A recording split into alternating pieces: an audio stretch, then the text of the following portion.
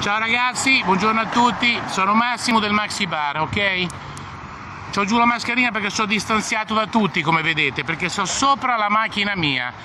Sono sopra la macchina mia incatenato perché inizio una protesta contro tutti coloro, coloro che non si sono resi conto che ci stanno a far morire tutti. Il 26 marzo è salito sulla sua macchina gridando lo stremo della categoria baristi e eh, ristoratori. A distanza di un mese in cui è rimasto tutt'altro che in silenzio, il 26 aprile ha esposto un cartello dove ha detto che è disposto a vendere un rene pur di salvare la sua attività. Non scherzava affatto. Erano in tanti a pensare che era una provocazione quando dicevo che volevo vendere un rene. Non era una provocazione, era verità.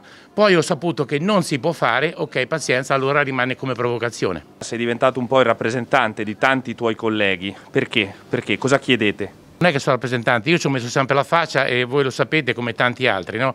Poi invece al lato pratico, tipo il 27, quando c'è stata la manifestazione davanti alla regione, eravamo in 10, invece dei 50.000 come mi aspettavo, eravamo in 10. Lo Stato non aveva una, un discorso di prevenzione sulla pandemia, no? il piano, piano, pandemia non c'era, quindi un tantino di responsabilità loro se, la, se lo devono prendere. Ci sarebbero stati sicuramente meno morti e meno attività chiuse. Sturani, che in queste settimane è diventato un megafono per tanti colleghi, ha anche condannato le recenti immagini di assembramenti in giro per l'Italia che a parer suo potranno produrre un danno nei confronti di tanti altri lavoratori. Dare la possibilità a 30.000, 40.000 persone solo in una piazza, perché in tutta Italia potremmo aver raggiunto anche 300.000.